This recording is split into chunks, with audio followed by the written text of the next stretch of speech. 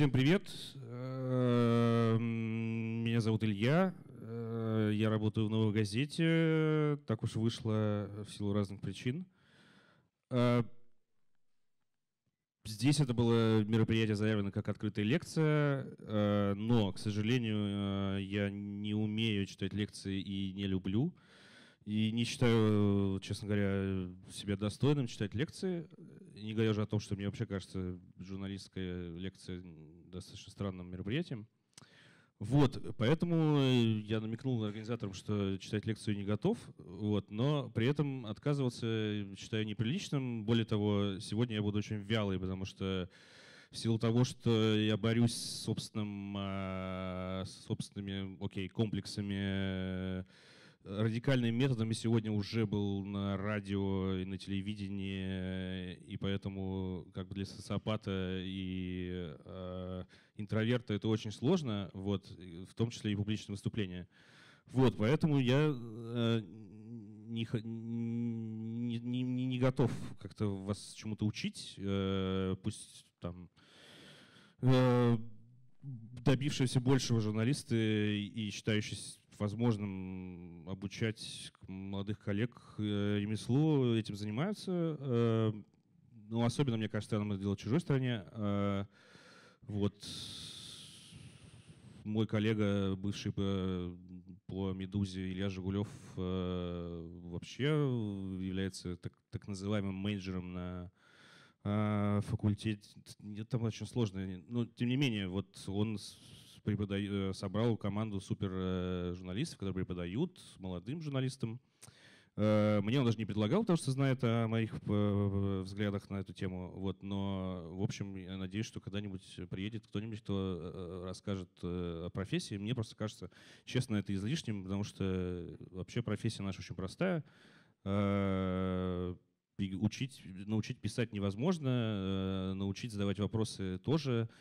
Э, как взять интервью, по-моему, это элементарно, да, надо составить список вопросов и, хороших, и задать их, и все, и получается интервью. Ну а с текстом то же самое. Э, надо приехать куда-то, задать вопросы правильным спикерам, и потом сделать на основе этого текст. Э, научить этого невозможно, ну, точнее, не так.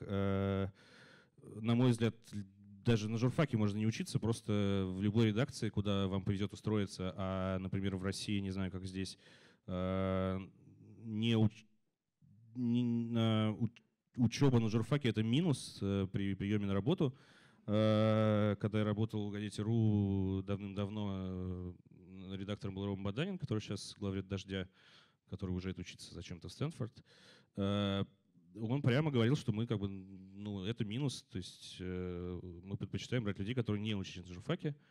Э, точно так же в Лентеру, на самом деле, э, изначально там нету, не брали людей с опытом работы, э, но меня взяли, но не знаю, кстати, даже почему, но почему-то меня взяли, хотя, в принципе, там все росли наверх, из, брали людей без опыта работы, чтобы, на самом деле, таких людей просто проще заставить э, писать и работать так, как надо редакции, писать по тому формату, который принят в редакции.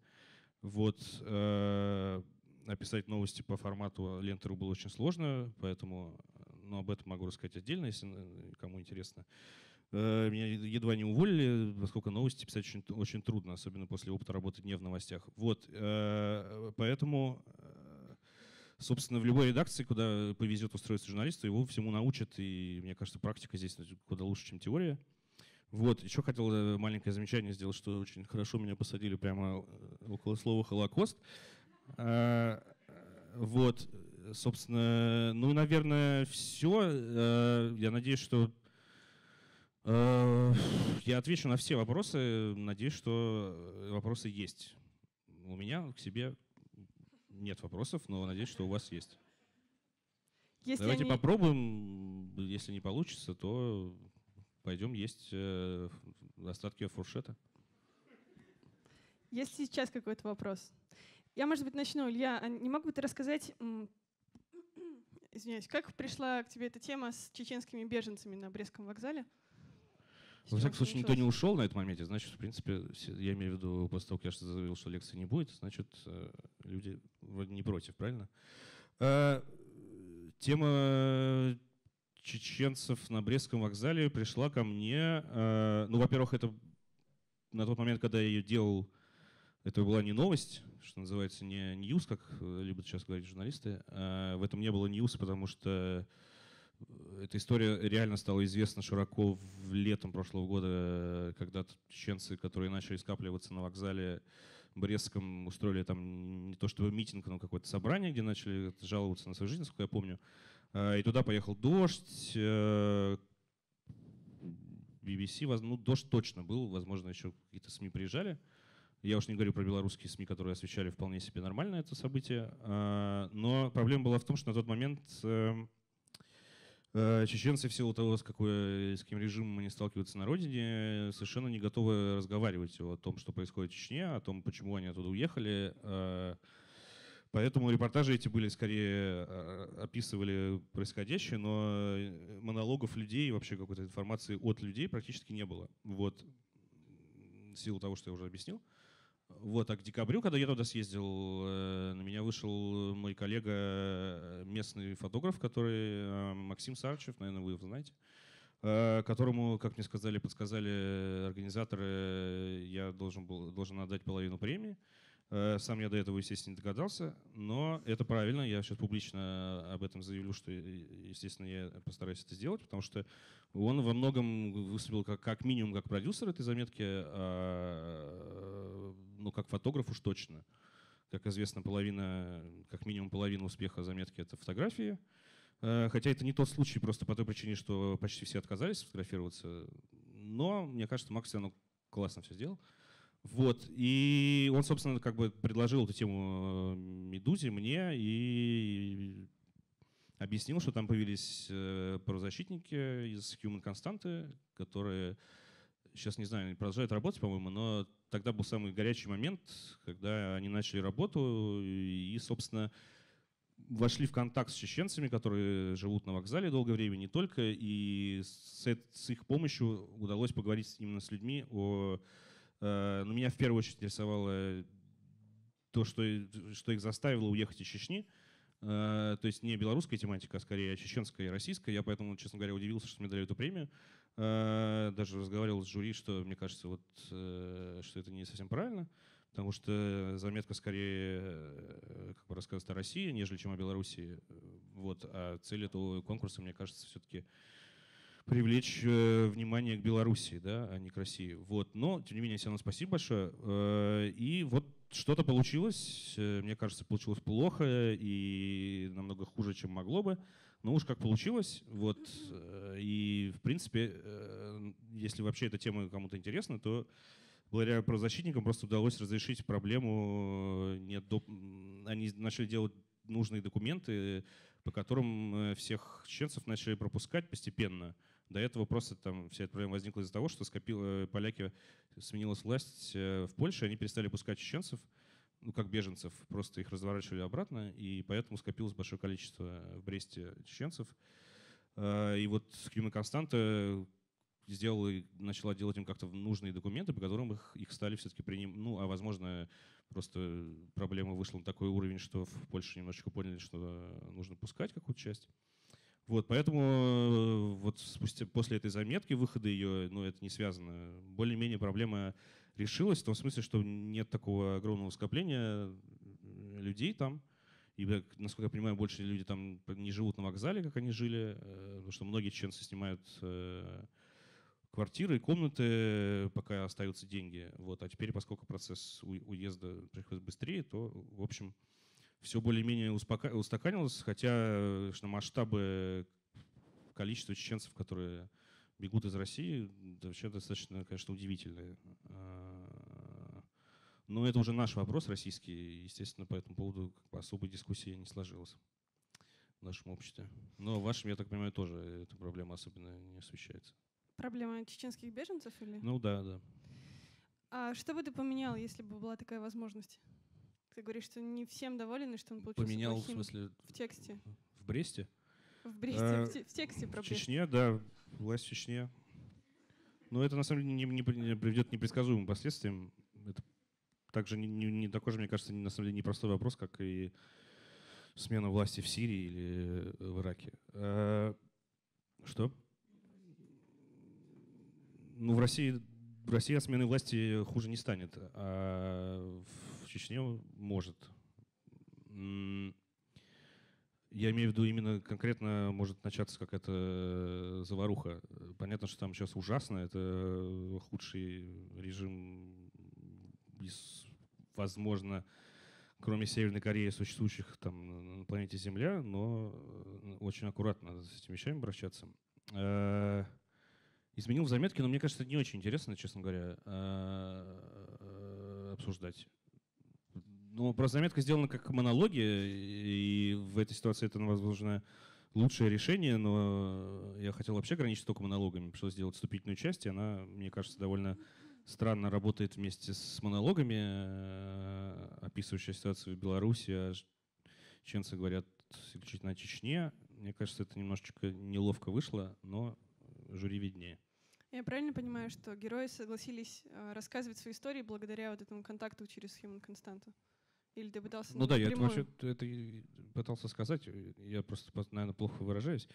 Э, э, да, но это, в принципе, так часто работает, потому что, ну, грубо говоря, люди в такой ситуации жизненной, они не готовы общаться с непонятно с каким человеком, журналист, не журналист, кто это вообще, а люди, правозащитники, ну, в данном случае правозащитники, да и вообще, которые им помогают конкретно, там, э, с ними работают, и так или иначе завязывают отношения, конечно, если он им говорит, что это нормальный человек, можно с ним поговорить, то это так и работает.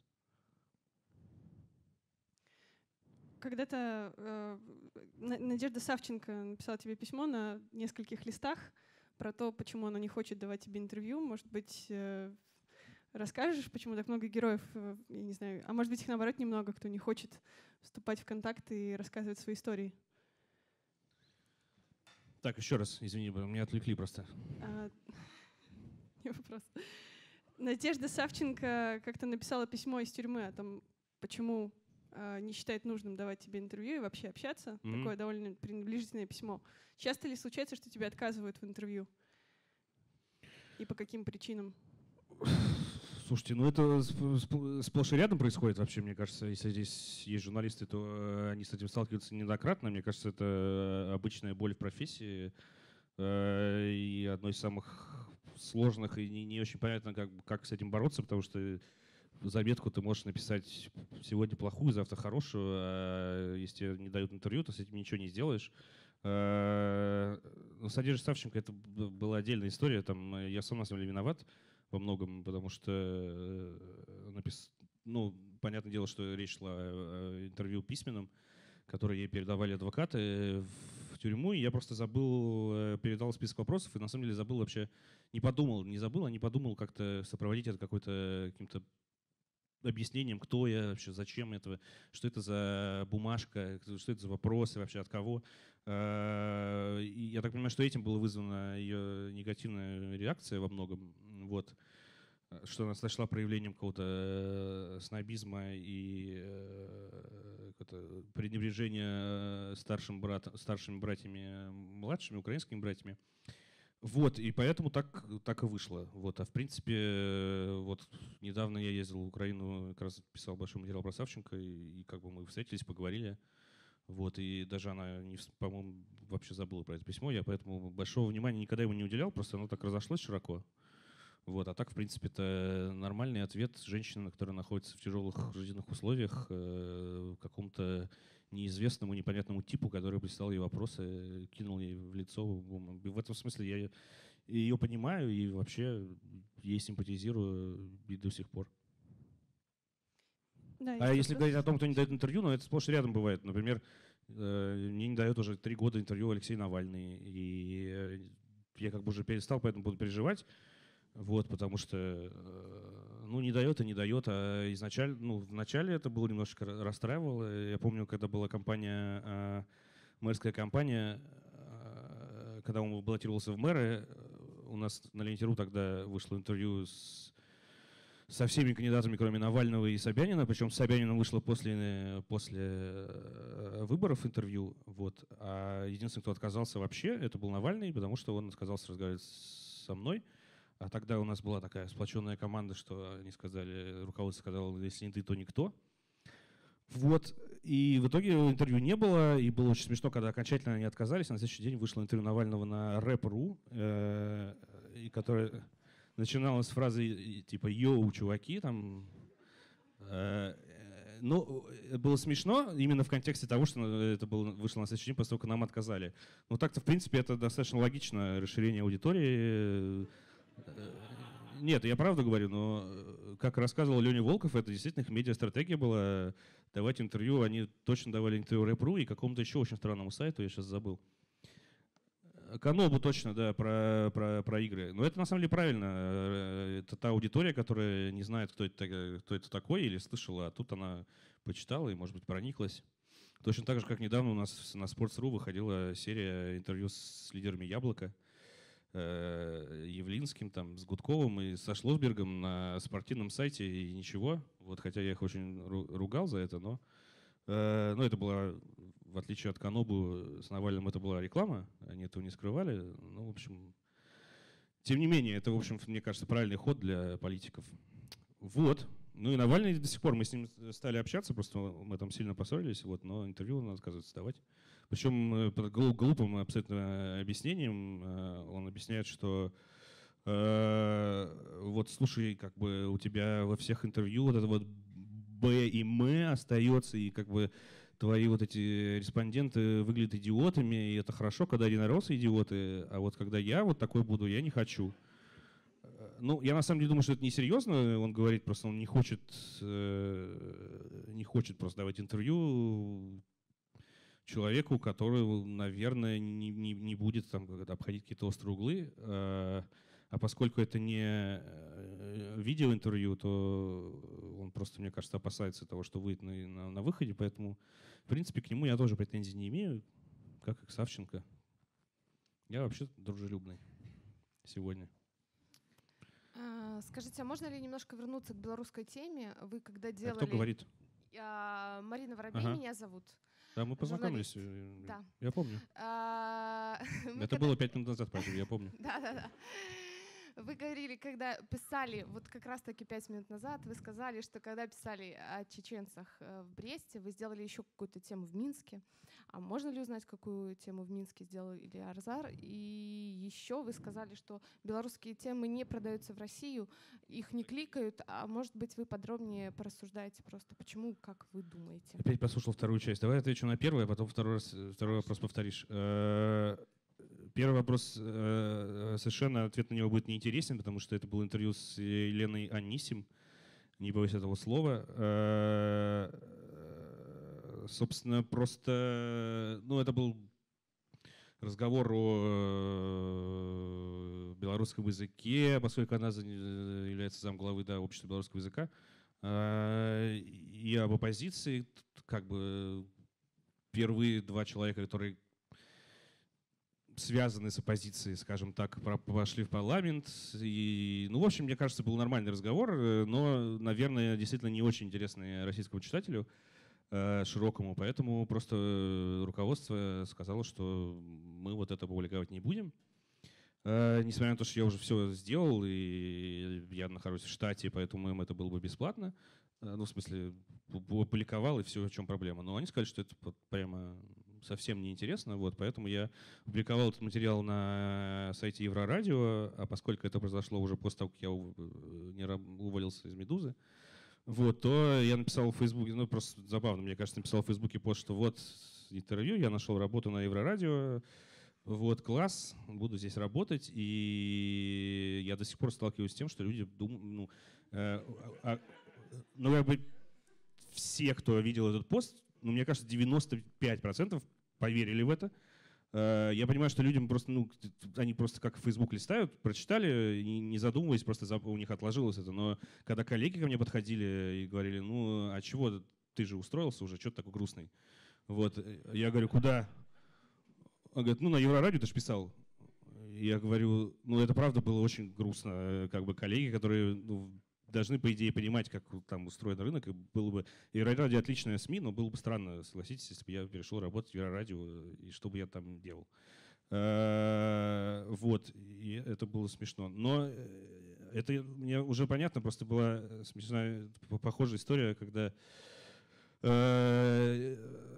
я ездил на Кубу в свадебное путешествие и, и оставил Facebook на работе на, в «Медузе» открытом, э, не разлогинился. Вот, и мой коллега э, Илья Жигулев, которого я уже второй раз упоминаю, э, надо будет попросить денег у него, написал туда пост, типа, ну, я на Кубе, тоска, тут все невкусный ром, надоело, хочется домой, как бы все плохо. Ну, как бы в моем стиле в каком-то смысле написал, но вот, а поскольку на Кубе нет интернета, ну, то есть там, не знаю, кто был, там по картам интернет, и его можно только использовать в отеле или на площадях. Э, в общем, короче, в интернет ты заходишь реально там, э, в лучшем случае, вечером, когда нечем заняться, и то лучше уж пойти ромпить.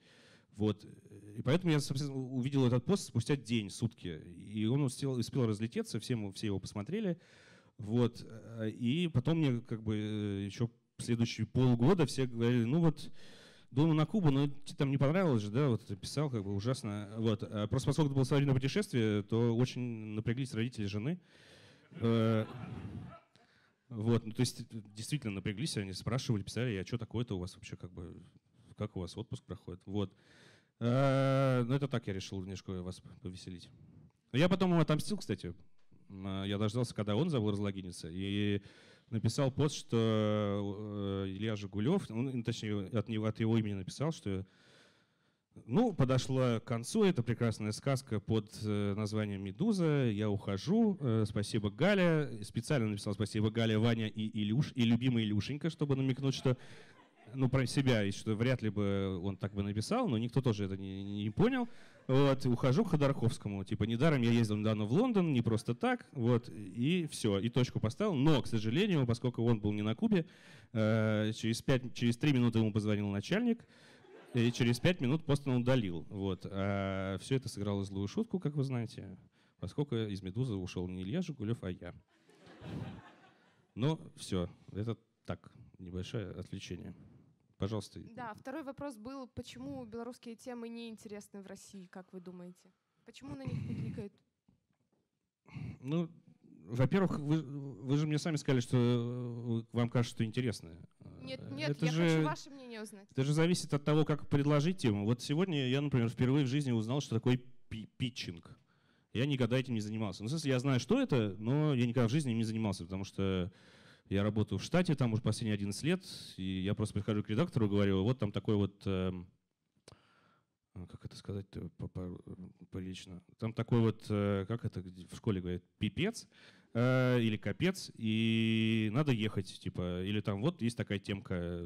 Вот мне это кажется, и есть питчинг. Ну, это очень короткий питчинг, как бы вопросов отдельных не, не, не от, обратно, ответных не поступает, поэтому ты просто едешь. Или наоборот, Э, вообще просто тебе э, говорят, вот поезжай туда, и все. И, в принципе, и так мы понимаем, он понимает, что там надо делать, я понимаю, что там надо делать, и все. Вот, поэтому э, вот я впервые, вот там, кстати, ну ладно, лучше не говорить, там такой странный пич, вот, но правый пич это мой. Вот.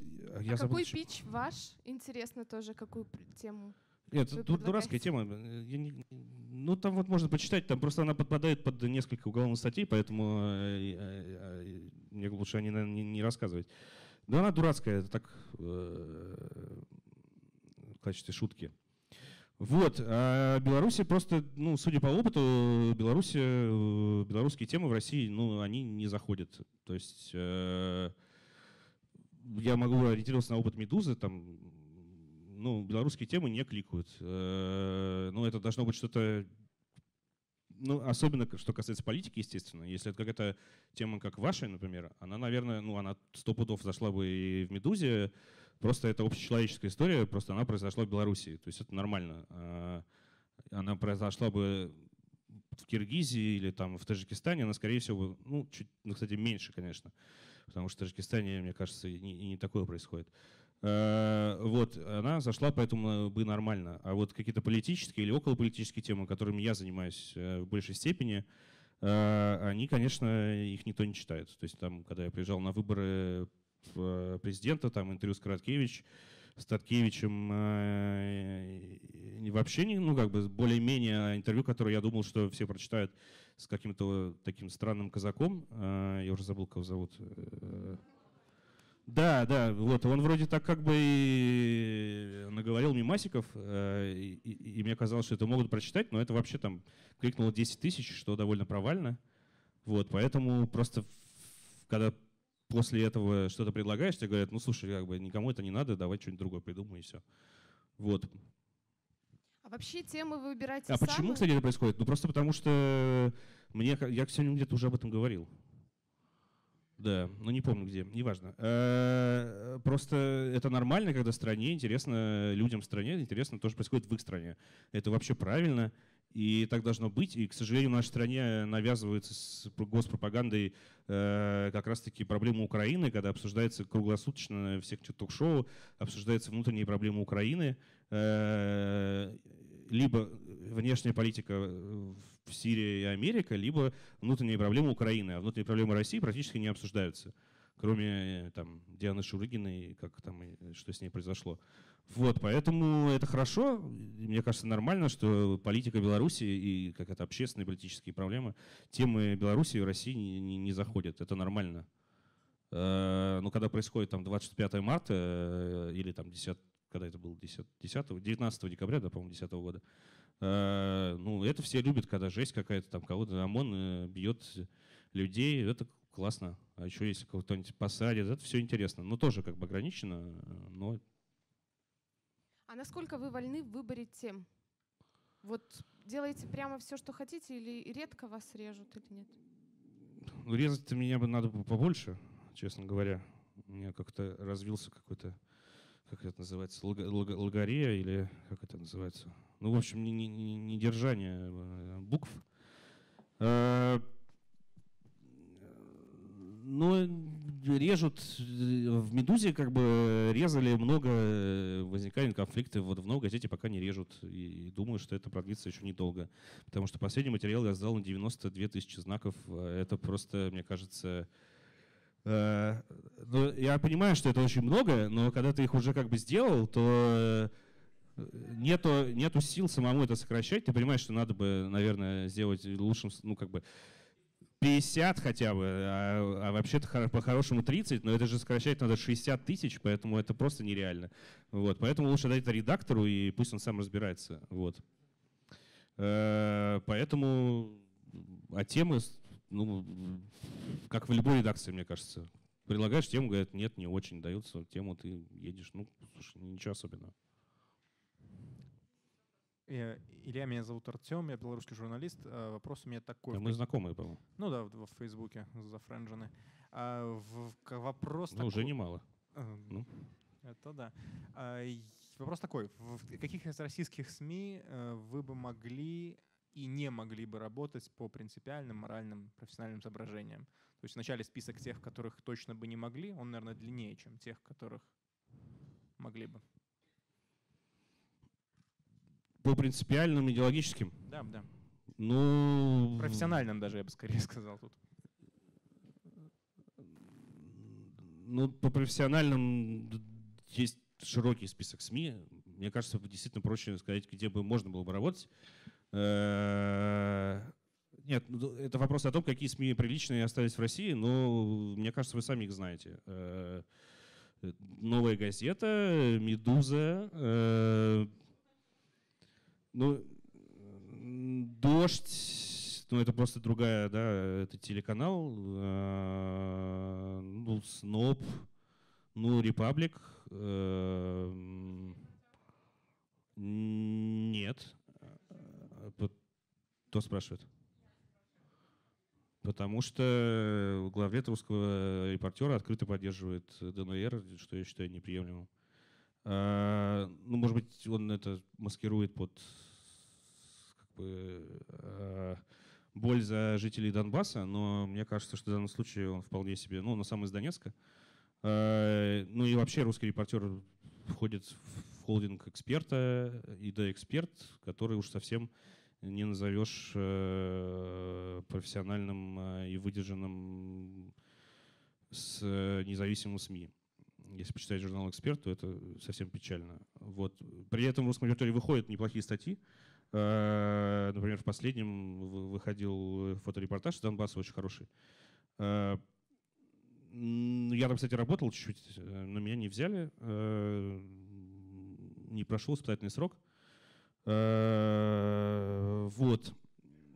Эхо Москвы, да, но это как бы радио, поэтому немножко я как раз и на «Эхо Москвы» работал в качестве пишущего корреспондента на сайте «Эхо Москвы», что было очень странно, потому что э, это была специальная должность, сделанная для меня, а там нету вообще, ну, нет людей, которые работают с текстом. Там на сайте сидит, э, есть главный редактор, но это, гром, ну, это громкое название, потому что формально есть там главный редактор и несколько девочек, которые просто выставляют э, на сайт э, блоги из других мест. А он, соответственно, редких случаях, когда кто-то пишет специально для эхо, он это получает, благодарит и тоже ставит. Нет никакой редактуры, корректуры вообще нет. Вот, поэтому и нету фоторедактора, вообще никого. Поэтому я, когда э, работал там несколько месяцев из Донбасса, как раз в самом начале конфликта, я сам фотки делал, там, брал свои фотки из Инстаграма, расставлял их по материалу, и, соответственно, его никто не резал, можно было там писать матерные слова, мне кажется, вот так через, через абзац, и никто бы это не, не, не проверял. Вот, э, но как радио, да, вполне пристойное место. Вот. Но я мог, кого-то забыть, э, на самом деле. Э, ну, медиазона, например, еще. Э, такие дела, да. Но вы сами все знаете. Что как бы... Бумага хорошая СМИ, но она просто региональная, немножко она выпадает из фокуса, но когда она делает что-то, что выходит на федеральный формат, да, это хорошие СМИ. Ну, в таком случае можно и и Фонтанку назвать, и, и знаком, наверное, и СИБФМ, возможно, это из Новосибирска, там, из казанских СМИ и так далее. Но это просто даемся уже в детали. Я, вот, но э, если говорить конкретно про меня, если кому-то интересно, то э, я-то, э, например, для себя, чтобы публиковать 90 тысяч знаков, выбор небольшой, как бы там в ведомостях или в Репаблике, наверное, столько не опубликуют. Вот. А мне такой короткий вопрос, Илья. Может, вам известно, какой процент читателей, которые кликают на ваш материал, дочитывают до конца их? Небольшой. Илья, ты очень много говоришь про стандарты и что в журналистике... Ну, Мы даже могли бы, извини, могли провести небольшой эксперимент, но я просто не боюсь результата, поэтому не будем. Извини, просто продолжи. А, ты говоришь всегда о том, что журналист должен быть над ситуацией, должен выдерживать баланс мнений. Ну, точно не под. Ты сам понимаешь. Да. Вопрос такой, есть ли истории, к которым у тебя личная связь, и есть ли у тебя такие истории, которые там преследуют тебя всю жизнь, и, ну, которые ты хотел бы забыть, но не можешь, либо ну, с которыми просто так не расстаться? Это о работе вопрос или? Да. Ну, есть ли какие-то истории или тексты, или то, что ты писал, твои репортажи, которые тебя не отпускают до сих пор, и какая-то эмоциональная привязка к этому? То есть, где очень сложно выдержать баланс, условно. Нет, ну подожди, э, если этот репортаж уже опубликован, то в нем уже выдержан баланс. Потому что во всех моих репортажах баланс выдержан. Просто два разных вопроса получается. Э, истории, которые преследуют, нет. Ну, мне кажется, это вообще как э, когда у тебя как что-то на душе, да, э, тебя беспокоит, надо с кем-нибудь выго- поделиться, выговориться, и после этого это на самом деле проблема э, отходит на второй план, а потом и забывается быстро. Вот, поэтому написал и забыл. Но это, мне кажется, выходит, ну, журналист, наверное, должен по крайней мере, пытаться, наверное, это уже зависит, конечно, от эмоционального уровня каждого человека, э, стараться отделиться максимально от истории, от того, что он видит, о чем пишет, и уж точно об этом не вспоминать, э, потому что тогда там много что может вспоминаться, и кровавые мальчики там будут стоять в глазах перманентно. Поэтому надо максимально дистанцироваться и не думать, не вспоминать об этом, но многие так в силу внутренних каких-то э, строений не делают, но и они ничем не хуже, да, они пропускают через себя и часто они немножечко уходят из, ну как бы, уже получается стык журналистики там в каком-то смысле правозащиты, да, э, когда ты начинаешь помогать своим героям и так далее, и так далее. И это, мне кажется, немножко уже непрофессионально, но не каждый человек да, может себе в этом отказать. Кто-то считает, что это так и надо делать, как бы ты же тоже человек. Ну, это очень долгий разговор. Э, там хрестоматийный пример, да, с, э, ну, немножко из другой сферы, но схожий с фотографом, да, которая э, была, присутствовала при сцене, когда мужчина там стрелял и угрожал девочке из пистолета, из автомата, и, по-моему, в итоге девочка погибла, потому что фотограф как бы по-моему, женщина была, если не ошибаюсь. Э, не знаю, может, кто-то знает эту историю. Что ты киваешь, знаешь? Угу. Вот, и она, по-моему, получила премию за это, за фотографию. Ну, здесь на фотографии, по-моему, я могу путать что-то, по-моему, на фотографии как бы мужчина афганский угрожает э, оружием ребенку, и в итоге ребенок погибает, а потом эта женщина, по-моему, сама тоже то ли повесилась, э, в общем, покончила самоубийством, потому что не смогла с этим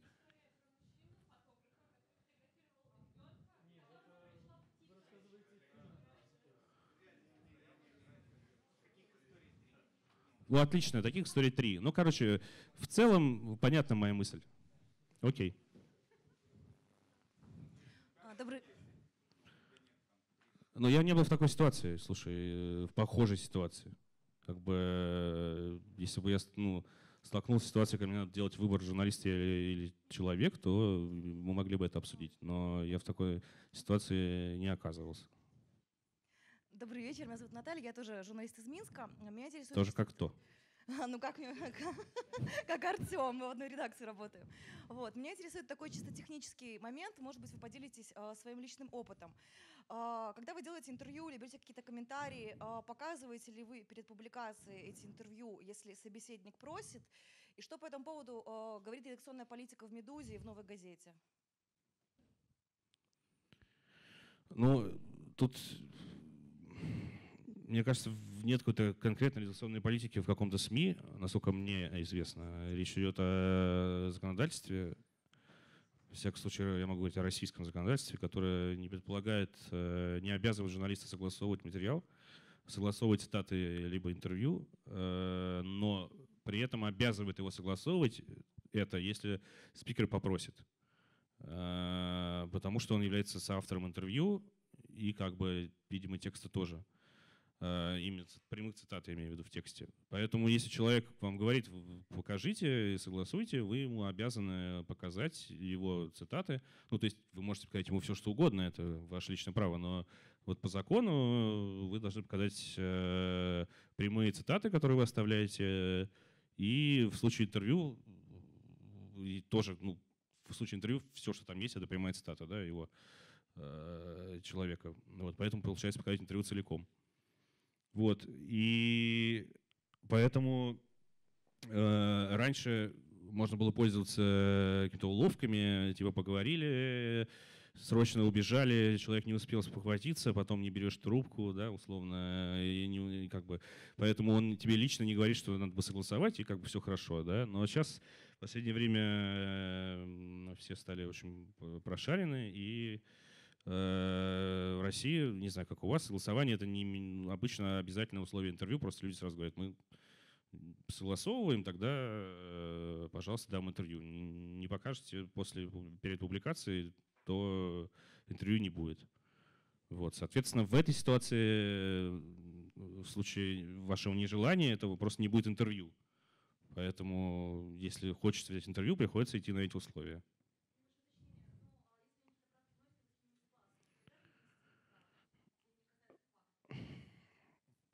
Ну, это очень сложный разговор, долгий. Э, это каждая такая ситуация, она э, решается индивидуально. Потому что э, спикер может попросить вас удалить что-то важное.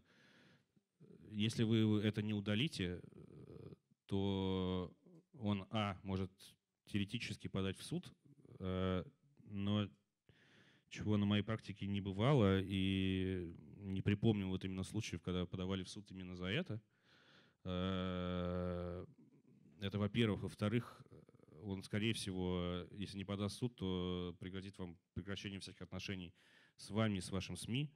Поэтому э, большинство редакций не готовы на это идти э, в силу того, что там, особенно если это чиновник или какой-то важный, там, важная фигура, то проще удалить какой-то э, кусок, нежели чем заканчивать вообще отношения с этим политиком. Во-вторых, иногда бывает, когда человек, люди хотят удалить я всегда рассказываю этот пример, когда я брал интервью у Говорухина, который был тогда, это режиссер, да, который был тогда э, главой штаба избирательного Владимира Путина. Я брал у него интервью, и Потом отправил на согласование, естественно, и он еще это делает, он не пользуется, во всех случаях не пользовался компьютером, и мне прислали скан страниц распечатанного нашего интервью, в котором он просто ручкой вырезал то, что ему не понравилось, и он вырезал э, все упоминания Путина, которые сделал, хотя он очень ничего страшного там не сказал. Там, по-моему, речь шла про участие Путина в дебатах. Путин от них отказался. Я спрашивал, правильно ли сделал ваш, так сказать,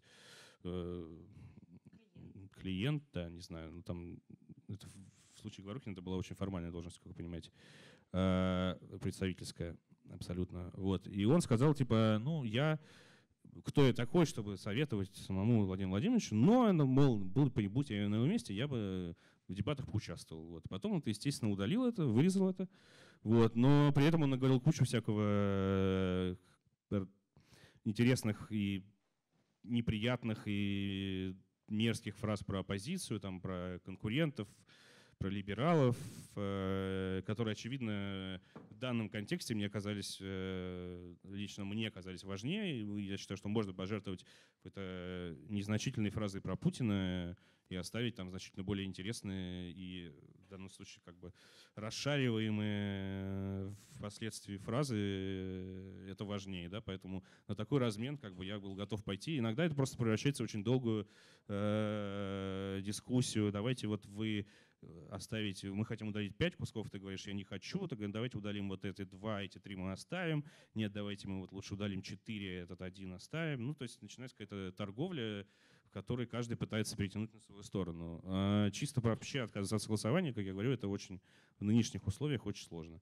Насколько я знаю, Нью-Йорк Таймс принимал такое э, э, как сказать, правило, что они больше не согласовывают интервью, я где-то читал об этом недавно.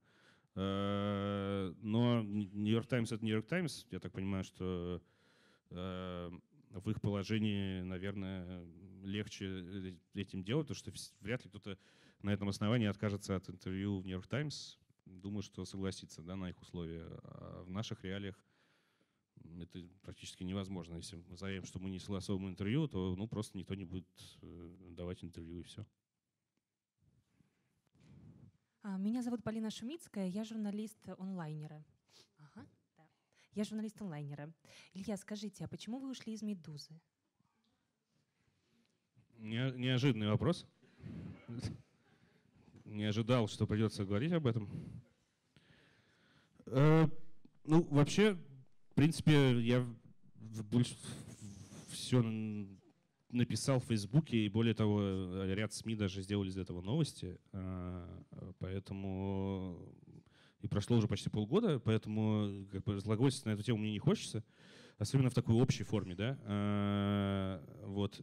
Но э, в целом мне кажется, что э, я работал в этой команде уже, проработал в этой команде 7, 7 лет, с 2011 года, да, э, в Ленте Рувичева, потом в Медузе, но это фактически одни люди, особенно в плане руководства. Э, поэтому, в конце концов, время двигаться дальше. И, э, возможно, моя неготовность расстаться с, там, с, друзьями Медузы они помогли, да, разрубив этот на, на, надоевший обеим сторонам отношения, да, сделали, поступили по-мужски, э, грубо говоря, разрубив его, мы разошлись, и как море корабли, и все хорошо. Вот, а ушел, потому что не, не сошелся с человеком, э, с редактором, который пришел э, в прошлом году, редактор спецкоров, э, который очень хороший редактор. Э, но у нас не сошлись взгляды как на редактуру, как на тематику текстов, так и на, отнош... на, на то, как должны быть построены отношения внутри коллектива. Э, он считает, что они должны быть очень формализованы, а я считаю, что они должны быть не формализованы. Вот и все. Никаким претензий у меня нет, как бы ему некомфортно было со мной работать, и все. Спасибо. Окей. Здесь еще вопрос. Добрый вечер, Илья. Меня зовут Вадим. Я тоже, и просто поставим многоточие. Тоже бородатый. Тоже бородатый, да. Нашли. Э, наверное, один из немногих э, журналистов, чьи репортажи подписываются прямо в прямо в, прямо в хедлайне именем. Э, как это произошло? Кто, я или вы? Вы. Ну, на самом деле, в «Медузе», в «Медузе» подписывались все спецкоры. Чаще, а сейчас начали сейчас подписываться и не только спецкоры. Да, ну это же в новой то же самое. Э, как это произошло, если помните, впервые? И, судя по глазам, это был сложный вопрос, это хорошо. И, собственно, прошло впервые, и как это начало происходить дальше? Просто по системе, по все привыкли к этому – или что-то надо было особенное делать? Ну, надо как-то отшутиться, наверное, но э, Можно? Не могу сейчас быстро сообразить, что сказать такого. Но на самом деле, если это правда интересно, то просто в «Медузе» это начало происходить с самого начала, потому что был разработан совершенно другой, в отличие от ленты.ру, макет сайта, в который это было изначально как бы заложено там вообще изменилось, э, например, в ленте.ру э, и как в большинстве СМИ, насколько я понимаю, существует запрет, и до сих пор существует запрет на использование э, знаков препинания в заголовках и использование какой-либо, ну, обязательно должна быть фраза, там, кто-то что-то сделал, или там где-то что-то произошло. И, соответственно, «Медузе» от этого, в частности, уже давно отошли. Поэтому был разработан совершенно другой, не макет, я, наверное, оговорился, а другой, как это называется. Э, кон, да, концепция того, как выглядит текст. Вот, поэтому туда была включена э, такая вот схема, что будет писаться э, фамилии спецкоров, поскольку это как бы важный для позиционирования и продвижения «Медузы» э, контент, именно сделанный спецкорами. А в новые тоже, мне кажется, там и Костюченко подписывают Каныгина. Но потом... А, я нашел, как шутиться. У меня просто короткое имя и фамилия, по четыре знака в каждой. И если, например, писать репортаж Елены Костюченко, то это же очень длинно. Тогда надо придумать короткий заголовок, иначе это будет вот так вот долго. А у меня все коротко, поэтому легко вставить. Нет, тексты не короткие. Фамилия, имя всего 8 знаков. А тексты, да. Компенсация, да, это правда. Илья, у меня вопрос про личную безопасность. Буквально на днях э, организация по борьбе с коррупцией и организованной преступностью опубликовали свое расследование журналистское касательно убийства Павла Шеремета. С вами случалось, вы чувствовали какой-то контроль лишний над собой и используете ли вы какие-то, не знаю, механизмы криптографии безопасности? Механизмы чего? Э, криптографии. То есть криптуете ли вы, допустим, информацию, которую пересылаете, когда общаетесь с героями или в каких-то других ситуациях? Э, того, что произошло с Павлом Шереметом, со мной пока не случалось, слава богу. Просто отвечаю на формат вопроса. Э, ну, это происходит часто э, с журналистами и в России, там, и не только с журналистами. Э, вот, например, я, когда ездил последний раз в Киев, общался с Ильей Пономаревым, а просто так совпало, что я прилетел в Киев в тот же день, когда убили Вороненкова, депутата Госдумы Беглова. Вот. И, и, и, и Илья э, Пономарев, и вот его тоже депутат, бывший Госдумы, который тоже живет в Киеве, они общались, и я его спрашиваю, мол, ну вот в конкретный момент, когда я там был, ему представили государственную охрану, СБУ, там все было на, на высшем уровне, но до этого он просто тоже перемещался. Я говорю, ну ты как-то сам планируешь какие-то принять меры предосторожности, ты же все-таки вот под угрозой, ну, в принципе, раньше было понятно. Говорит, ну, да, я, например, перестал чекиниться в заведениях, когда я там нахожусь, а чекинюсь только, когда уже ухожу. А, ну и так серьезно это говорит. Вот. А я, кстати, тоже так стал делать. А, но еще раньше даже, да. Ну, может быть, мы одновременно дошли до этой э, гениальной мысли. Вот. Э, ну, это в целом ответ, да. На, ну, нет ни, никаких специальных мер предосторожности я не... Ну, мне кажется, это довольно глупо, как бы. Э, собственно, как все это обсуждалось активно, эта тема обсуждалась. Ну, во всяком случае, я ее достаточно активно обсуждал именно в случае Вороненко, потому что я просто темой занимался. Вот, и, ну, понятно, что даже один-два охранника тебя не... В принципе, даже пять охранников не спасут, потому что там, если это какой-то, ну, грубо говоря, шахид, в смысле, как там, человек, который готов убить и сам погибнуть при этом, то тебя не спасет никакое количество охранников, если только ты не Путин там, и тебя не, не пересаживают из одной бронированной машины в другую, да, то есть это все бесполезно. Поэтому если такой как бы будет заказ, ну, ну как бы судьба такая, то есть не, что с этим сделать, непонятно. Можно не писать э, на какие-то такие темы, ну, я, честно говоря, практически не пишу. Э, вот, а те, кто пишут э, про чеченцев, ну, это ну, как бы про чеченцев написала новая э, Лена Милашина, которая занимается новой газете чеченской темой. Э, вот она написала значительно более мощную историю про э, геев в Чечне и их преследования. И как бы вот она как бы столкнулась с большим количеством угроз, и там и в редакцию приходили какие-то странные конверты с порошком, и там она, насколько я понимаю, сейчас во всяком случае, куда-то выехала, я точно, честно говоря, не знаю, но, насколько я понимаю, она как-то не живет сейчас там, где она живет обычно, и не ходит в редакцию. А, для безопасности, да. А, ну, как бы она, она смелая женщина, ну и как все в «Новой газете», и, в общем, как и многие журналисты, но опять же, вот что, что ей делать? Ну, просто здесь конкретная угроза, но я не думаю, что она теперь на, на всю жизнь переедет в какое-то другое место. Да? Ну, рано или поздно, наверное, она вернется к обычной жизни. А что делать? А, с, вот как раз-таки в новой газете крутой отдел расследований, который, я так понимаю, возглавляет Роман Анин. У меня такой вопрос. А хотели ли бы вы э, ну, тоже уча- поучаствовать в расследованиях, возможно, порыть еще панамский архив? Вообще расследование — это вам, для вас я же вам уже ответил на этот вопрос э, там, э, до начала. Э, ну, я пошутил, на самом деле, ну ладно. Ну нет, я, мне, честно сказать, я, я уважаю людей, которые занимаются расследованиями. В частности, коллеги по «Новой газете», там очень сильная команда, правда, Роман Анин, там, лауреат многочисленных премий, я, правда, с ним практически не знаком, к сожалению, но очевидно, что он крутой парень. Э, о том, что он крутой парень, говорит то, что, насколько я помню, помимо расследований он ездил на Евро э, и даже получил там в, плане, в процессе подготовки репортажа получил какую-то травму, когда занимался английскими фанатами. Вот. Ну, это говорит о разносторонности интереса человека, это всегда хорошо. Вот, есть еще Роман Шлейнов э, на уровне Романа Анина, просто в отличие от Романа Анина он не входит в команду OCCRP, который занимался Panama Channels, поэтому сейчас как бы они на слуху.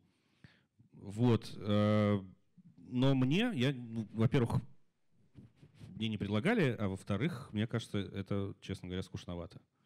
Ну, то есть мне лично рыться в бумажках или в архивах э, просто ну, в силу характера не, не, не очень интересно. Э, это, во-первых. Э, во-вторых, возможно, если бы не было людей, которые этим занимаются, наверное, там я, может быть, не занялся, но есть и Анин, и Шлейнов, и, и, и много кого еще, поэтому я могу этим не заниматься. И Ваня Голунов в «Медузе», который раньше в РБК был.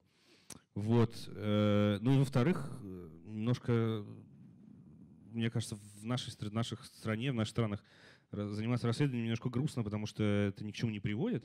Ну, то есть, как бы, мне кажется, если ты делаешь это в Европе э, или в Америке, то результатом расследования э, журналистского начинается расследование правоохранительных органов, а в нашей стране этого не происходит. Поэтому довольно, получается, грустное и местами бессмысленное занятие, э, но все равно достойное. Другое дело, что от, как бы от репортажей тоже, естественно, ни, никаких правоохранительных органов ничем не начинает заниматься, если только не тобой, а, как у нас в последнее время модно вот это все. Вот, поэтому, ну, это важно, но просто это не мое.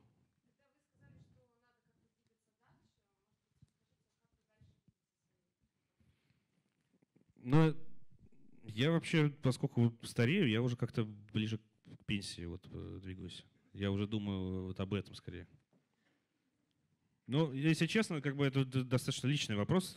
Там, я не то чтобы доволен э, э собой и своей работой, и, э, и своей работой, поэтому э, нахожусь в постоянной рефлексии на этот счет, и, и поэтому не могу сказать, что будет дальше. Меня зовут Саша, журнал City Dog By. Э, в начале разговора вы сказали о том, что вы интроверт, и мне стало вдруг интересно, мешает ли вам это в журналистской работе, особенно э, в разговорах с теми людьми, например, как беженцы, которые совсем не готовы к разговору. И есть ли у вас какие-то приемы, которые вам помогают? Э, мешает, конечно, в работе. То есть мне, например, достаточно трудно позвонить по телефону э, какому-то спикеру. Достаточно долго собираюсь с духом, потому что вообще не люблю звонить людям, которые там, ну, не ждут этого звонка, да, которые как бы надо уговаривать, э, дать интервью или еще что-то. Поэтому очень это всегда откладываю долго на, э, на полдня, на день. Вот, поэтому, естественно, возникают такие проблемы. Вот, и как с этим бороться, не знаю. Ну, то есть перебарывать себя. Ну, как, ну, не знаю, иногда получается, получаются какие-то заметки, но, в принципе, это, да, большая проблема. Ну, как я уже говорил в самом начале, вот хожу э, на, на, теле, на там, какие-то радио и телеэфиры, хотя после последнего э, эфира на, на канале Навального есть такая передача «Кактус», Э, которой я был 35-м гостем, и так, основная, как, основные комментарии, там, что это самый, самый скучный гость э, из 35, э, которые были, как бы, провальный эфир, это ужасно. Ну, там, на самом деле, ругает кто-то ведущего, кто-то меня, кто-то обоих, вот, но в целом это было не очень, во-первых, потому что я забыл в середине, на самом деле, что меня записывает камера, как, например, я сейчас забыл, вот, а там поэтому я сидел, сначала я там начал почесываться, начал как-то там вот так, что откидываться, вот, э, закатывал глаза, видимо, все время, как там написано в комментариях, а я как бы просто не, не думал об этом. Ну, возникает пауза, и я там что-то своим занимаюсь. А надо было, видимо, как сидеть, смотреть в экран. Вот, и поэтому вот и журналистикой тоже занимаюсь, стараюсь себя перебарывать. Спасибо. Еще один вопрос от Вадима. Быстро подошла очередь. Вопрос человеку, который в таких, я вижу, в разных отношениях с Навальным и его командой. Э, как можете оценить э, те расследования, которые делает ФБК, как с точки зрения их, э, собственно, контента, так и с точки зрения подачи? И если все не так уж плохо, почему именно вот до такого формата, на мой взгляд, например, вполне красивого, почему до него вдруг в России дошли, в общем-то, ну, не профессионалы, не медиа? А, расследование ФБК... Во-первых, я не специалист в расследовании, как, как, как мы только что поняли. А, но видео, последнее видео про Медведева очень клевое, ну это как бы понятно, но просто я очень не, не люблю смотреть видео э, репортажи и вообще видео, поэтому, но этот Э, конкретно это расследование снял до конца, целый час, и было интересно, и оно очень грамотно сделано, но оно, насколько я понимаю, делалось довольно долго, э, поэтому вот именно в плане там графики, каких-то э, картиночек, да, там все сделано идеально, но за счет долгой работы. А, в принципе, расследование в газете, там, в новой газете и в «Медузе», условно, тоже делается довольно долго, и теоретически э, можно было, наверное, сделать то же самое. Я, на самом деле, думаю, что насчет новой газеты я не уверен, потому что она все-таки немножко работает э, как бы старая школа. А «Медуза», я думаю, к этому, возможно, придет, потому что они экспериментируют с видео. А и, наверное, я думаю, они попробуют как-то совместить э, расследование головного с видео. Все-таки там есть видео делать, три человека работают. Э, и это будет интересно. Э, почему так получилось, что Навальный не профессионалы опережают в этом смысле медиа? Ну, просто потому что Э, медиа достаточно костные, не только в России, но и в Беларуси, как бы а, они, видимо, не все об этом думают, а у Навального все-таки в первую очередь мотивы политические у его команды, и они делают максимум, выжимают максимум из того, что они делают, потому что они ищут сторонников и идут к власти, да, наверное, поэтому. Ну и вообще они довольно талантливые чуваки, что говорить. Да и сам Навальный, как, как, как там к нему не относись. А, добрый день, меня зовут Андрей. Э, вопрос такой, прорабатывались ли вами или вашими редакциями тему интервью с Лукашенко? Вот, и вторая часть вопроса, если бы такое интервью состоялось, э, в какое русло вы постарались повести этот диалог, и в частности, каким был бы первый вопрос? Ну, во-первых, э, интервью Лукашенко, мне кажется, брала э, Ксюша Собчак в свое время. И сегодня мне еще говорят, что Доренко у него брал интервью, я, правда, этого не помню. То есть это, видимо, более-менее реально. Ксюша Собчак, правда, была какая-то странная история. По-моему, она как-то написала, что она хочет его взять, и на нее чуть ли не сами из администрации президента Беларуси вышли, типа, хотите, давайте. А, по-моему, как так было. Но я могу, как вот я напутал что-то с фотографом, так и здесь могу напутать, конечно. Вот, и, ну, честно говоря, я не, не прорабатывал э, такие э, вопросы этого интервью, потому что э, вообще, как бы, очень устал от жанра интервью и стараюсь э, минимизировать этот жанр э, интервью с действующими чиновниками обычно неинтересно получается э, с чиновниками ниш, низшего ранга, потому что они не вольны как бы в своих оценках и высказываниях. Это, конечно, не касается там, президентов, э, но тем не менее я не думаю, что можно рассчитывать на какой-то искренний разговор, э, что там с, с Путиным, что с Лукашенко. Э, не думаю, что эта беседа будет сильно отличаться от э, пресс-конференции, которую дает и, тот, и другой. Э, то есть от всех каких-то уточняющих вопросов он будет уходить, как, например, Путин э, уходил, э, семь раз его спрашивали на одной пресс-конференции про закон Димы Яковлева об усыновлении детей, сирот, запрете на усыновление сирот американцами, и как бы семь раз его спрашивали, он там по-разному как-то от вопроса уходил, поэтому личное интервью было бы примерно такое же, да, ты его спрашивал, он уходит от ответа, ты еще раз спрашиваешь, и толку от этого мало. Вот, ну а с президентом Беларуси, я думаю, было примерно так же, но, думаю, было бы намного веселее. Мне кажется, он э, склонен к какой-то такой э, юмору такому, да, по-простому такому. Как, кстати, и Путин. Э, вот. Но я, честно, не, не прилагал к этому никаких усилий. А вы думаете, это надо?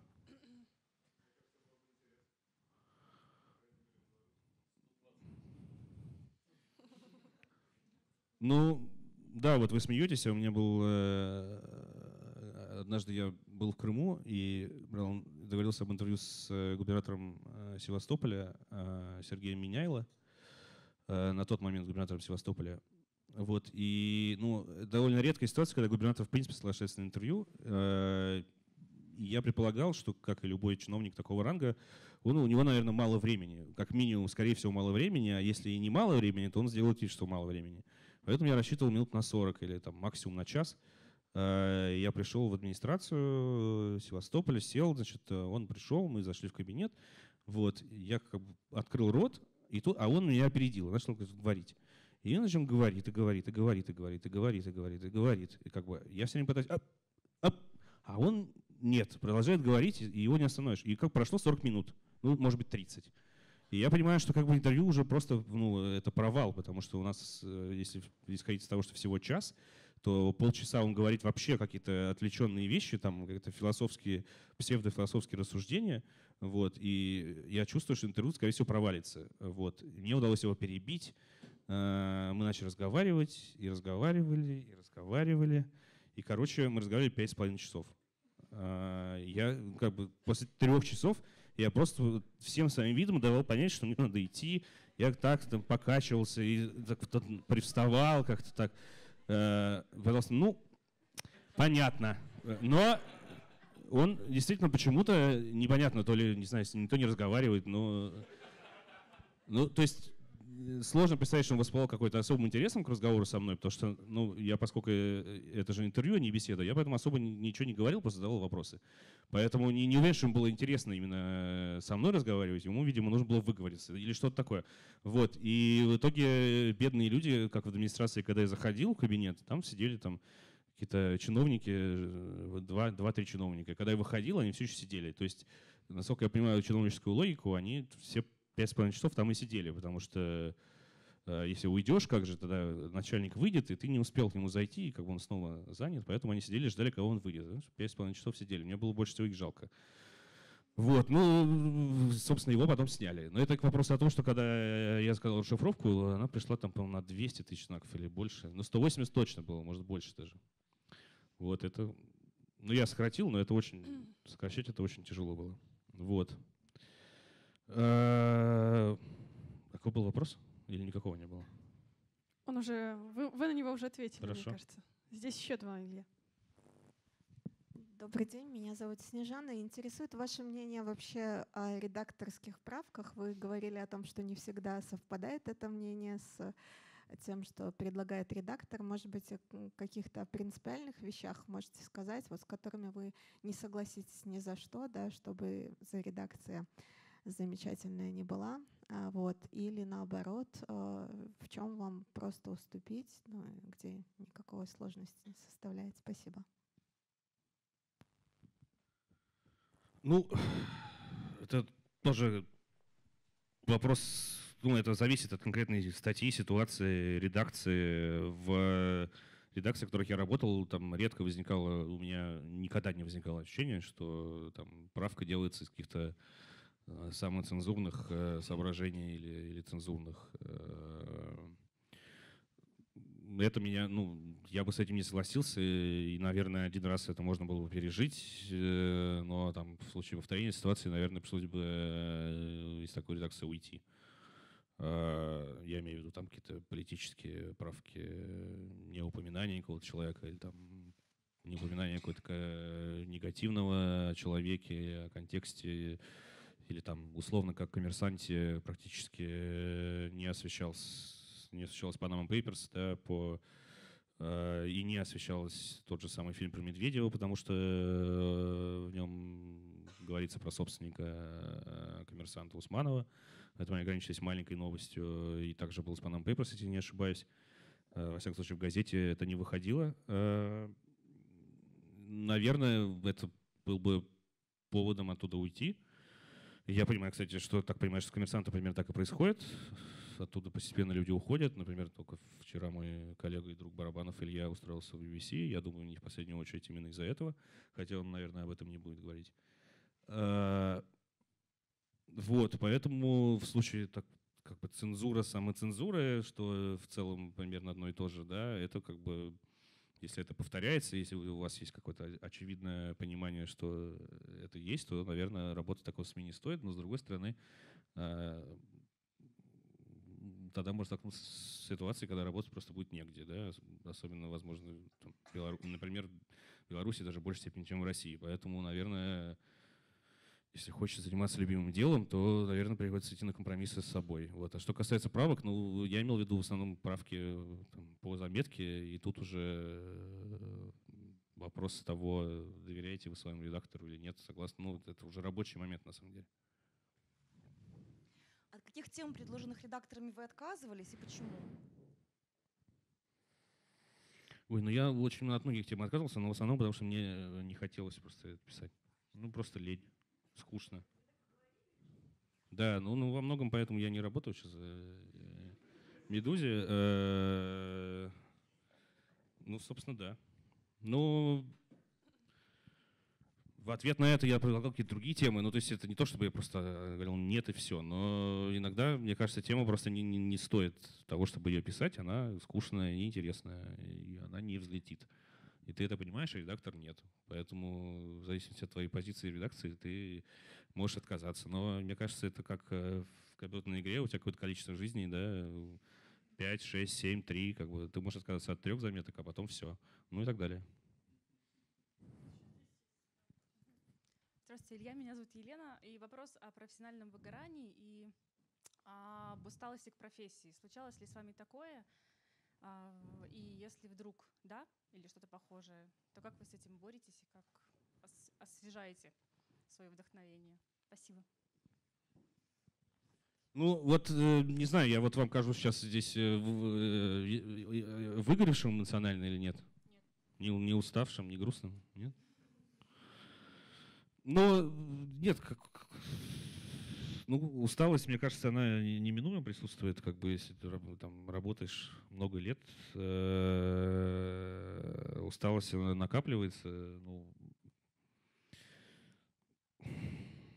Но в целом обычно это решается просто интересной темой. И даже если ты не хочешь ехать, то ты себя заставишь поехать куда-то.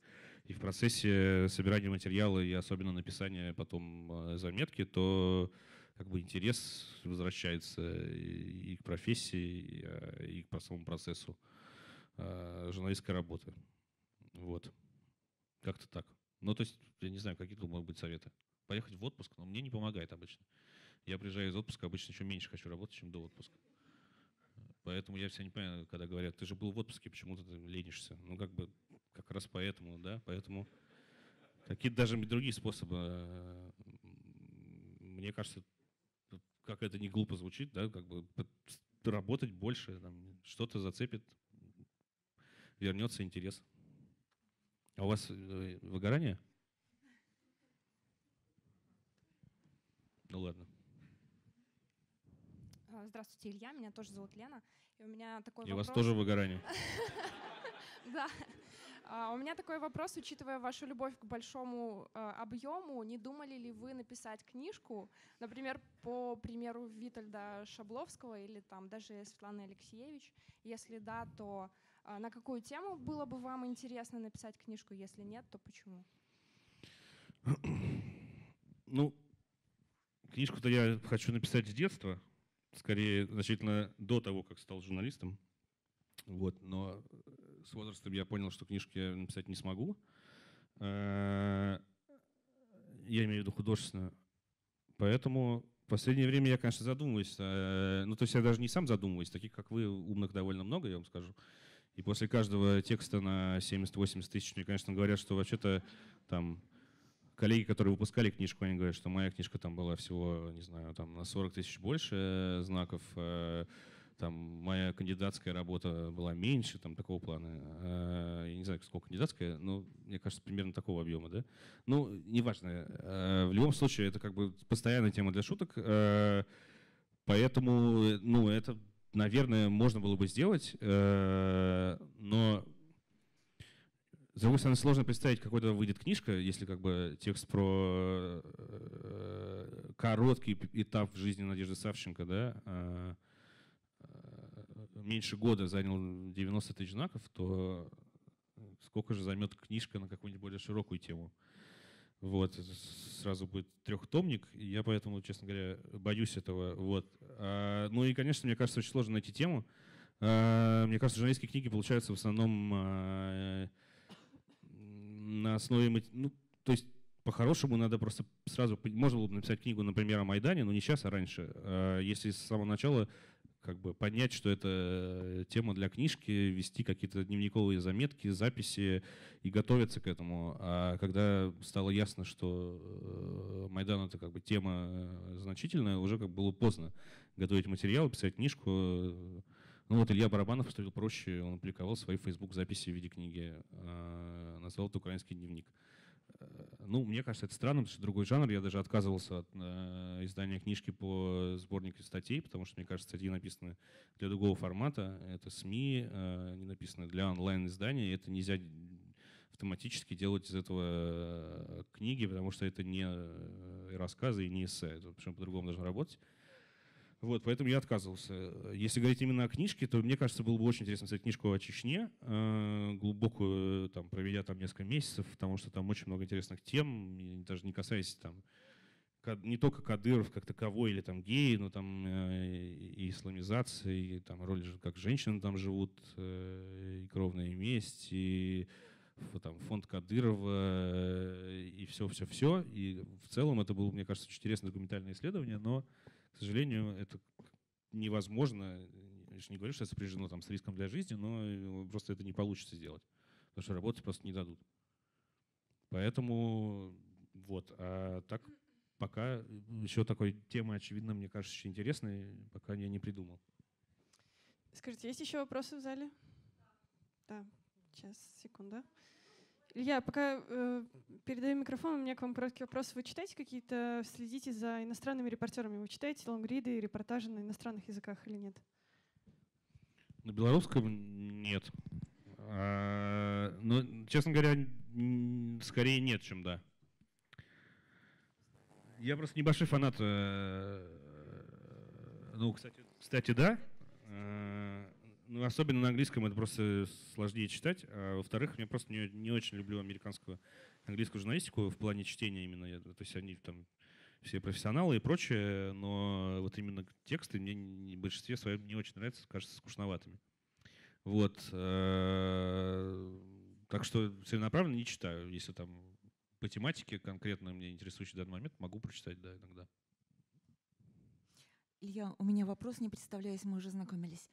Э, скажи, пожалуйста, а кто для тебя идеальный твой главный редактор и почему? Один вопрос. И второй вопрос, а как ищешь свои темы? Как, э, каков процесс? Э, а кто главный редактор, кто именно?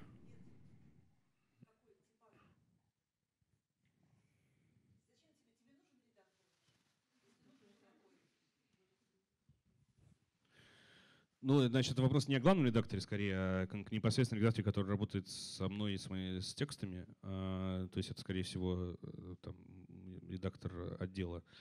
А, ну, с одной стороны, редактор постоянно бесит, и вообще хотелось бы, чтобы их не было. А, но с другой стороны, без них, конечно, трудно. И, например, на том же «Эхе Москвы» я работал, у меня не было редактора, то есть формально э, я мог писать фактически, практически любую тему и как угодно, о чем я уже говорил. Вот, но э, это на какой-то момент ты ощущаешь себя в вакууме, э, и это все-таки не, не подошло, хотя Аркадий Бабченко, известный вам, наверное, сказал, что он просто мечтал бы о такой работе, да, которая может публиковаться. Ну, он, правда, и так может делать, потому что «Эхо Москвы» перепечатывает его Facebook-посты, поэтому формально он, в принципе, тоже там работает, как и я работал. Но, тем не менее, вот он э, мечтал, сказал, что мечтает так работать, чтобы никто ему ничего не говорил, как и что делать, а он бы сам писал, публиковался. Вот, но э, как раз именно, мне кажется, необходимая помощь редакторов в выборе темы, собственно, переходя ко второму э, вопросу, э, потому что в редакции все-таки э, в штатной, при штатной работе это взаимо, взаимно, взаимный процесс.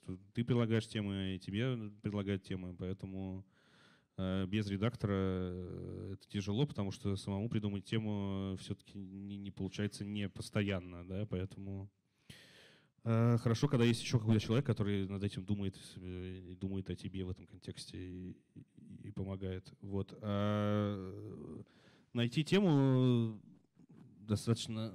Я вот тут как раз для этого конкурса э, предложил пять тем. Э, ну, собственно, я их придумал на ходу, они не очень интересные, но, в принципе, ну, что-то из них можно было бы сделать, э, а какие-то вот глубоко оригинальные темы, ну, довольно, честно говоря, сложно придумать, и каждый такой текст, конечно, становится сразу же очень известным, но не про свои говорю, а вообще. Есть, мне кажется, оригинальных идей э, очень мало. То есть обычно освещается либо непосредственно новостной повод, либо какое-то раскры... развитие, неожиданное развитие идеи. Но, например, э, вот э, есть такая журналистка Полина Еременко в э, Москве. Она работает, она работала в Москваре, сейчас в СНОБе. Вот мне кажется, у нее, либо у ее редактора Егора Наставщикова, вот есть эта э, чуйка, да. Они, например, сделали репортаж про судьбу трупа, когда стало известно, что бомж, э, проскочила новость, что бомж умер в, внутри надписи «Москва» на Арбатской площади. И, ну, как бы все прочитали, посмеялись, да, я прочитал, посмеялся. Ну, и как бы забыл об этом. Ну, точнее, извиняюсь, не посмеялся, я что-то заговорился уже, а, погрустил. А,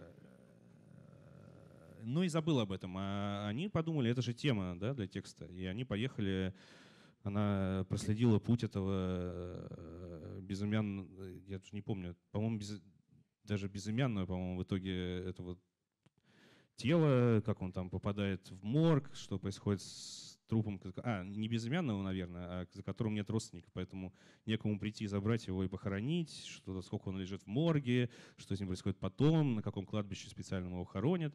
Вот, э, ну, это такая грустная тема, но довольно интересная и как бы с неожиданного инфоповода, да, выход на эту тему.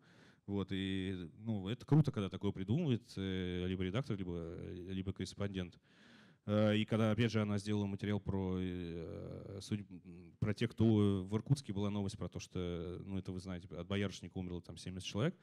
Э, и, в принципе, я так понимаю, никто как бы не озаботился проблемой, что это за люди, или, во всяком случае, никто не, я не видел таких текстов. Они вот поехали, тоже Полина и написала как бы текст про конкретно этих людей, которые погибли. Я, правда, текст не читал, но э, сама идея правильная, да, и как бы нам это не пришло в голову, хотя это вообще очень, на самом деле, логично.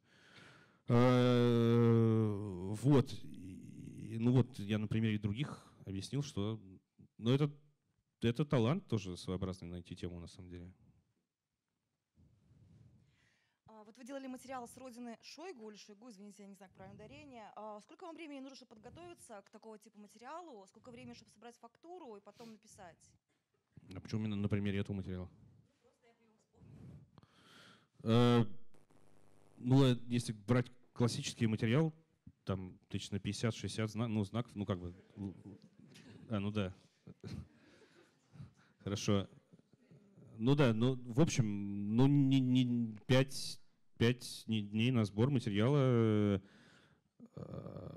потом 2-3 дня на прослушивание э, диктофонных интервью, которые вы взяли, выписыванием оттуда цитат, которые вам понадобятся, и потом на составление текста еще 2-3 дня, ну, может быть, 4. Ну, если все в целом, если от момента вылета в командировку, э, ну, наверное, даже скорее 13, это скорее 2 недели получается. Здесь еще есть вопрос. Здравствуйте, Илья, еще раз. А, у меня вопрос Воля Давыдова.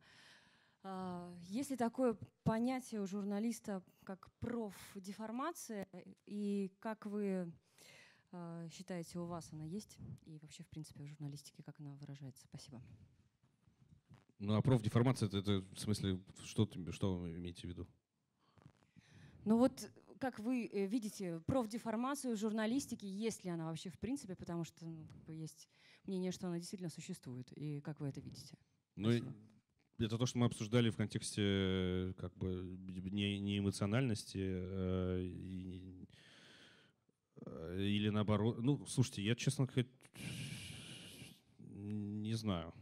Ну, то есть, э, если вы конкретно спросите, какой вид профдеформации вас интересует, я ну, могу вот ответить. смотрите, вопрос возник за счет, э, за счет того, что вы сказали, вот мы там увидели новость, да, посмеялись. Ну, реально это правда, по большому счету. Бывают новости, которые не смешные. Ну, я-то реально оговорился, на самом деле. А... Вот у меня э, редакция «Медузы» мне записала прощальное видео, когда э, мы расстались. Они записали каждое прощальное видео, в котором мне сказали несколько приятных слов. Э, и вот один из э, руководителей оговорился и сказал, типа там, в этот прекрасный день или что-то такое. Ну, то есть э, он сам поправился, я уже сейчас забыл точно. Ну, была вот такая же похожая ошибка, вот поэтому это просто случается. Но вот вопрос все-таки, если вы видите там кровь, кишки, грубо говоря, будете плакать или все-таки нужно делать свою работу? И Не, это ну, это является как бы мы же мужики-то вроде. профпригодность все-таки. Мы же мужики вроде это как бы должны не мы с вами, а, а я э, и, и другие корреспонденты мужского пола. Поэтому при виде кишок падать в обморок как-то странно. Вот. Э, ну, опять же, то, что мы, хотите меня спросить, это скорее, мне кажется, э, достоинство, ну, как бы, э, плюс для журналиста, если он не реагирует на такие штуки и на эмоции. Ну, мы, я уже говорил про это. Вот это, там, журналист должен быть циничным, что с этим не, не сделать. Это просто лучше для него, как для профессионала. Там он, как обычно все говорят, что журналисты это неприятные, мерзкие люди, но они делают свою работу, ну вот такая работа, а что, что-то поделать. Ну, в этом смысле я, например, ненавижу, э, если говорить, кстати, да, э, есть такой вид журналистской работы, когда там падает самолет или э, происходит теракт, э, тебя отправляют э, к месту событий, и ты должен, э, и ты, ну, как бы отправляют к месту событий и говорят, работай. То есть они даже не уточняют, что, но мы все понимаем, что в этой ситуации невозможно ничего делать, потому что информацию как бы на месте у силовиков добыть невозможно, поэтому можно разговаривать только со свидетелями как произошедшего, а, и в, иде... а в случае теракта это еще возможно, а в случае упавшего самолета, скорее всего, это будет, ну, это предполагается разговор с родственниками погибших или, с, по крайней мере, с родственников обычно изолируют, то есть скорее со знакомыми, которые приходят э, к зданию и положить цветы, еще что-то, и ты должен к ним подходить и говорить, здравствуйте, а вот вы как бы, вы, вы знали кого-то из погибших, и там человек, допустим, плачет или не плачет, это как бы, э, это ужасная работа, и я помню, что один раз я даже меня заставили к вопросу о том, о чем я отказываюсь. Я всегда отказываюсь от таких тем. Э, и когда мне не удалось отказаться от темы, когда упал э, самолет с Ярославским локомотивом в Ярославле, э, я очень долго отказывался, но в итоге пришлось поехать. Но я поехал на вокзал с утра и не взял с собой паспорт,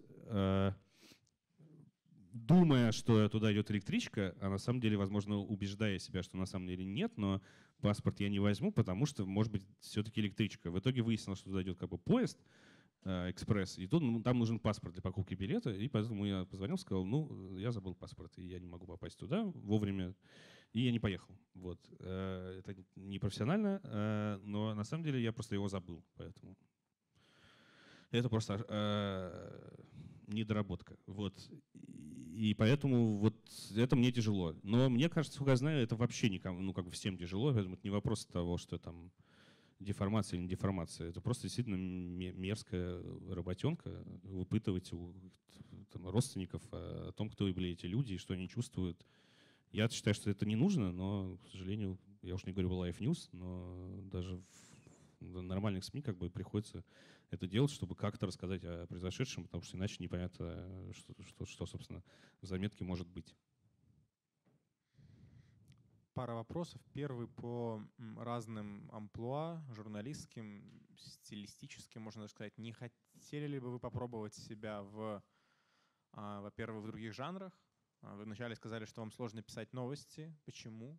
Пробовали ли бы писать колонки? Хотели ли бы хотели бы попробовать стать редактором когда-нибудь э, сами? Это первая группа вопросов. И вторая, могу сейчас или могу после Лучше потом. Э, все нет. Не, не, новости. Я просто работал, как бы нормальная э, карьера журналиста, это когда ты после ну, начинаешь с, новос, с новостника, да, либо после э, журфака, либо даже без этого как-то устраиваешься на новостную ленту, пишешь новости, а потом продвигаешься там в отдел какой-то, в отдел, в который ты хочешь работать, политики, не знаю, общества, спорта, неважно. Э, я сразу в силу того, что ну, в общем, долго рассказывать, про себя не, не люблю разговаривать. Э, в силу обстоятельств попал сразу в отдел политики в газету.ру э, в шестом году и сразу писал заметки. То есть этап новостей я избежал, э, и поэтому, когда с газетой мне пришлось э, э, расстаться, назовем это так, я просто пошел попробовать в Ленту.ру именно писать новости, потому что мне хотелось посмотреть, как это происходит, потому что, ну, как раз вот попробовать другой жанр. Поскольку Лента.ру тогда была несомненным лидером в этом отношении, вот, я попробовал, устроился на работу, хотя мне при, при поступлении Галя сказала, что you are over, overqualified, и зачем тебе это надо. Вот, я сказал, ну, интересно попробовать. Меня взяли, и через три месяца э, я уже собирался увольняться, потому что это адская работа. Ну, может, она кому-то не покажется адской, но мне почему-то это ужасно бесило. А что именно бесило? Ну, писать новости. Ну, по 8, по 10 новостей в день, как бы выискивать. Э, я отвечал за блок бывшего СССР. Вы сходить по разнообразным сайтам, выискивать новости, решать, какая из них достойна новости, новость, э, на, в ленте РУ, а какая нет. Э, потом пересказывать как бы ну, на самом, по большому счету, то, что надо пересказывать, э, уже известно, написано на другом сайте, фактически нужно пересказывать своими словами на свой сайт, ну и добавлять оттуда, если есть еще информацию с других сайтов. Но фактически просто заниматься э, рерайтингом, э, как, чем и занимаются все новостные отделы в СМИ, ну, не считая агентств. Поэтому это крайне раздражало, и, несмотря на то, что там у нас была внутренняя статистика, в какой-то момент я там вышел на первые места по количеству новостей, ну, я так для себя просто нашел какую-то э, возможность этим заниматься, чтобы стать первым по количеству.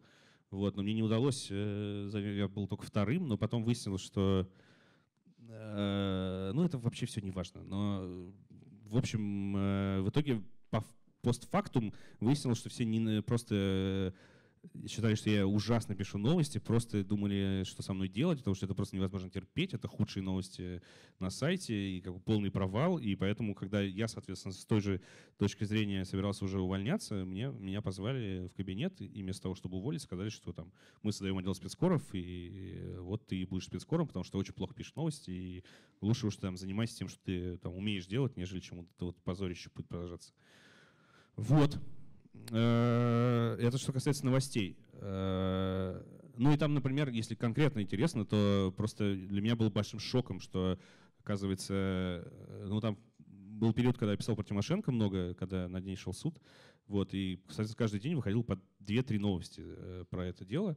Вот, и, соответственно, каждая новость должен быть бэк, бэкграунд, который, в общем-то, один и тот же. Да? То, что такая Юлия Тимошенко, за что ее судят. Э, и что было вчера. Ну вот э, важен именно кусок про кто такая Юлия Тимошенко и за что ее судят. И поскольку это, ну, Юлия Тимошенко была премьером, э, премьером Украины, и судит ее за там, обстоятельства подписания газовых контрактов с Россией. И эту фразу я просто копировал, честно говоря, из одной новости в другую, ну потому что это бэк, да, это не важно, на мой взгляд, было. А потом ко мне пришли и сказали, нельзя ничего копировать из одной новости в другую, даже если этот бэкграунд, надо переписывать каждый раз. То есть писать вместо Юлия Тимошенко премьер Украины, надо писать глава Кабмина следующей новости, потом там что-то менять, там какие-то глаголы другие придумывать. Вот это крайне меня бесило. Вот, э, вот так.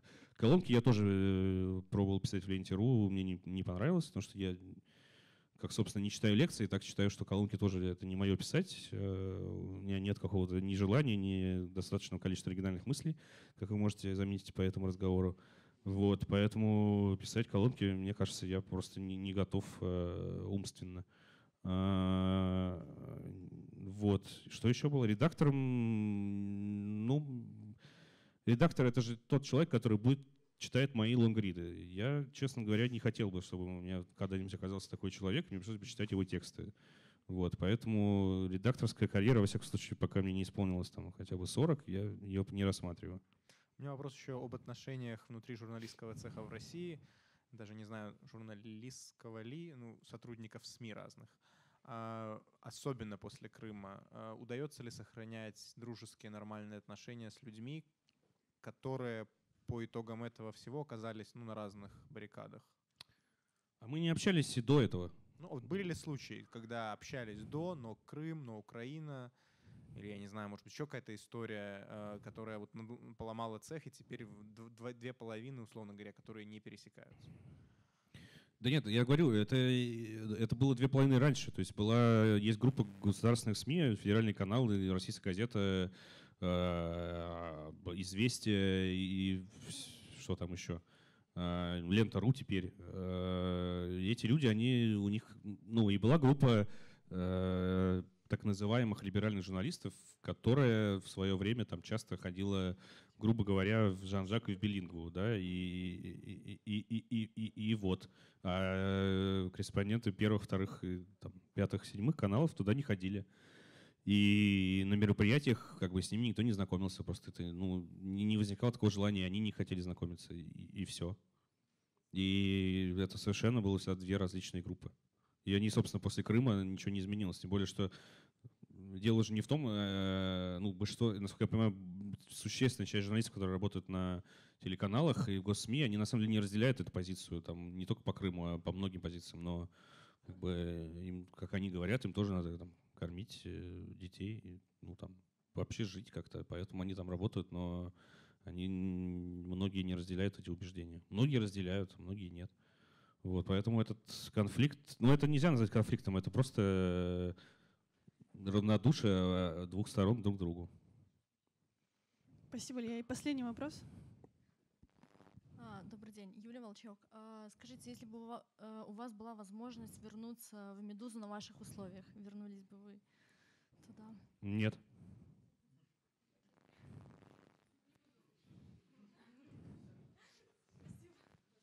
Спасибо. Самый короткий ответ, но все равно спасибо за развернутые ответы на другие вопросы. А, мне кажется, получилось довольно интересно. Еще раз, можем, давайте не будем молчать, давайте похлопаем все-таки. Спасибо.